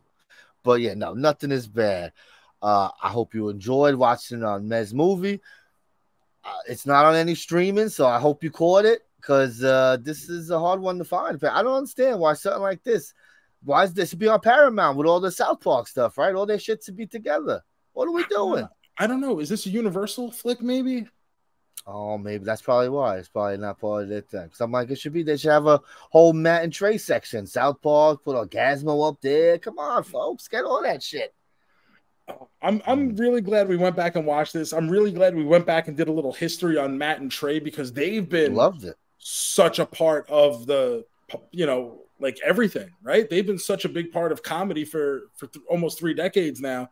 And if you go back and watch something like Cannibal the musical or you watch Orgazmo or you've ever seen the Book of Mormon, you know, you've ever listened uh the South Park movie, all the songs that they write for these shows uh that have been in just episodes of South Park that like are surprisingly good songs. Even in this movie, as I rewatched it, I was going, oh, but like of all the things, they didn't do a song for this movie. And then there's the scene where Coop is driving, Driving to the the car, airport yeah. to go take himself to Calcutta, and it's him on the radio singing the song about Can't everything that's happening. When you're down, you gotta get up. Don't let them walk all over your face. Even if some guy's trying to blackmail you and your girlfriend thinks you suck. It's up to you to let them know it was all just some part of some rich guy's evil plan. Look out ahead. There's a truck changing lanes. You've got some yellow crumbs on your upper lip. And those what's on your dick ain't gonna go away unless you start using topical cream every day. Every day. Yeah. so. That song is called le- legitimately called "Warts on Your Dick." I had it on my iPod for years back when I still had an iPod. But they're like they write these songs and they they're just so good. Uh, obviously, we use the song for the main man standings. That song is from Orgazmo. Yes, so many it is now. songs over the years in the South Park episodes. The one I continue to go back is the Fun with Weapons one, where he writes like the uh hey hey let's go Sentai to you, you know, protect my balls when he's talking about like let's fighting love. Let's fighting love. Great So stuff. fun. So It's great stuff. and and now they bought Casa Bonita. So Casa Bonita is one of my favorite South Park episodes of all time.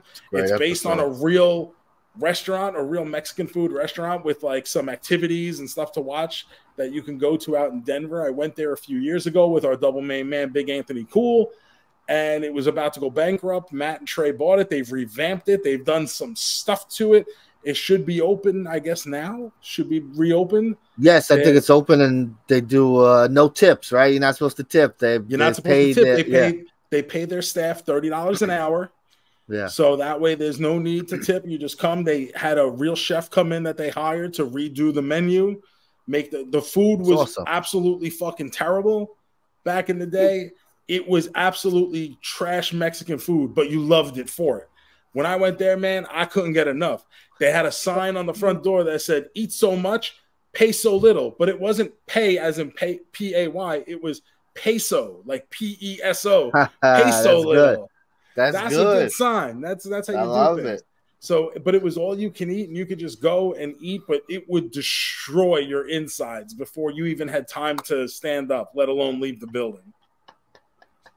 Oh goodness, that's good. All right, yeah, that was fun, Joe. That was a fun little. uh I like Yeah, I I like love going back and doing research and, and finding out I stuff did. about these movies. So I'm glad I we love got learning. and guys, get down in the get down in the comments. Let us know if you like this kind of thing, if this is something you'd like to see more of in the future, or if there's other movies, specific movies that you'd like to hear us talk about. Don't be shy. We love to hear it. Mm, yeah. Well, we gotta figure out what we're gonna watch next week now, Joe. Mm, how are we going to do Hmm. that? Well, I don't think you want to go to the movies to see The Haunting in uh, Venice or whatever. I do want to see that movie. I do want to see it because I like Uh, those movies. I am on vacation starting in about five minutes, however. So uh, I won't be able to get to the movies, but I will get to see this movie at some point. It's got like a, a weird cast from what I see. Always, a it's very- always so random. It's a very just- eclectic cast. The like the trailer itself is just like this scary movie, and then you get Hercule Poirot. I was like, wait, what? This is one of these movies? It's so Tina funny. Fey. And it's like, what? So we're not gonna check that out. I think we're gonna stay home and maybe do a little catch up, Joe. What do you think? Oh, I think that's a Uh, great idea. Oh well, if we do that, then we're gonna have to bring out our our third host of the show. Really, our good friend. Oh, my guitar. the wheel, Joseph. The wheel is the co-host. Oh, Oh, baby, let's uh, let's see what we have. The first week was good. Let's see. that's I don't true. know. I think it's all gonna be downhill from here, but we'll find out in a minute. here we go, spinning it. Hmm, I will say it did give us a good one with Dungeons and Oh, Dragons. Fuck. Oh, fuck. Um, Joe, the wheel has landed. the wheel has landed on a remake of a 90s movie. This is available on your Hulu app. White Men Can't Jump. Joseph. Whew, are you a fan of the original? Woody Harrelson. the original, yeah. It's Because good. now- That's a good I didn't movie. see it in theaters, but it was something that got played on TV all the time Yes, for some reason. And while it was still relatively new, like it wasn't one of these movies that didn't hit syndication for years. It was like a year after it released theatrically, it was on TV all the time. So there's always that we go and sizzler, we go and of course, of course, that's your favorite part. oh, uh, our our friend Muhammad and I, that was our thing. Like we would call each other, and he would just call me. I'd be like, "Hello," and he'd be like, "We going sizzler, we going sizzler," and we would go and gorge on corn fritters. So, Oh, fucking Good sick. times, great memories. the best. So yeah, uh, watch along with us if you would like. Like I said, it's on Hulu. Uh, this one stars uh, Jack Harlow. He's a rapper that the kids apparently like. Oh, I thought it was the guy Um, from the White Stripes. It's not the guy from the White Stripes. Jack. it is not. that would be some movie, I gotta say. oh wow, what a visual! I'm just picturing Jack White slam dunking the ball. with the music in the background with his little Seven boom, Nation boom, Army boom, outfit, of course. Boom, boom, boom, boom, boom, boom. Oh, Hysterical. I have not heard good things about this Joe. I'm just gonna warn you right now. I Oh, hear that's, that's it's exciting. not the best, but you know. but that's for next week, Gomez. Yes. That's for next week, though. We'll worry about that next week. But for now, mm-hmm. Ooh. we should finish up this week.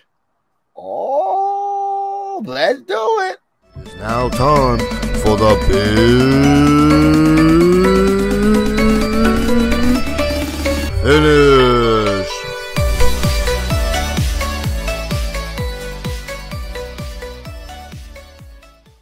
All right, folks. It's big finish time. Let's spin that wheel. Hmm? Oh, again. Oh, that's. Ooh, it almost landed on Adam Sandler movies again for the second straight week, just missing out. Instead, it landed on superpowers you would want. Mm, I think this is easy. I think this is one, two, three. Let's see. Here we go. Mm. So let's see. I mean, I think number one, we're gonna teleport, be able to teleport wherever we want to go. That's Bing, bam, boom. I mean, it saves all the time in the world, bro. Yeah. It's Um, important. I will go with shape shifting. Interesting. You up to no good. I know you. you want to do some. You want to do some sneaky shit with that. I know you. I, bro. I, I'm very, very sneaky. yeah, yeah, you are. Shapeshifter. Hmm. If I can't teleport, then I want to run fast. I want to be like the Flash. I can do fast things. You know, I can clean up the house in four seconds. Doesn't that sound fun? Okay. Um. So, in addition to shape shifting, I'm also going to have time travel. Oh, this guy's up. oh yeah. Here we go. Time travel. You know, I don't know. I don't think. I think that'll cause too many problems. I, would stay away from the time travel because it you're gonna overuse it. You're just gonna get yourself in trouble. I think that's what I think. I I don't. do I think. I'll be okay. And then I don't know, like uh what do you want? You want like healing powers, maybe super strength? I'm trying to think. Maybe one of those. I'm not. I'm not sure. Super strong, healing factor, right? You want to be able to heal yourself if you get sick, right? Doesn't that sound good?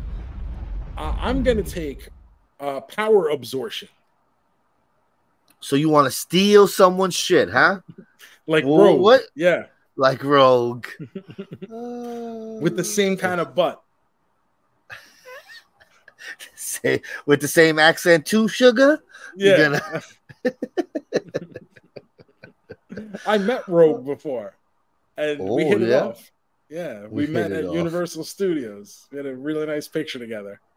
Was she trying to get into the Avengers Academy? What was she doing over there? She might have been trying to absorb my power. Who knows? Mm, you don't say. But you know, I I made sure I was everything she wanted because I have the abilities to shapeshift.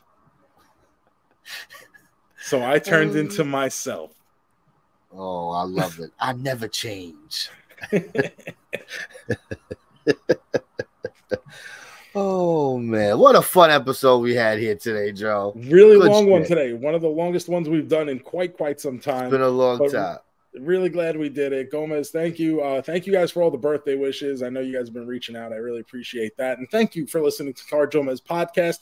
Remember to hit subscribe. If you're on YouTube, ring that bell, leave some comments. Tell us your three favorite superpowers that you would like to have. And also, there's any old movies you want us to watch or what kind of contact content you actually like hearing us talk about.